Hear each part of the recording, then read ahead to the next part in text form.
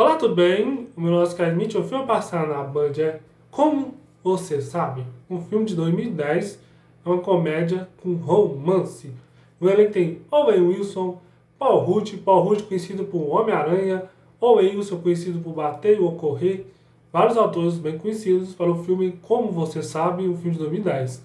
Depois de ser excluída do time de softball dos Estados Unidos e se sentindo ser um pouco além de seu auge, Lisa se vê avaliando sua vida em meio a um triângulo amoroso. O filme, como você sabe, o filme, como você sabe, tem uma crítica de 32% no site Rotamatória. Essa crítica 32%. E o filme custou 120 milhões para ser feito.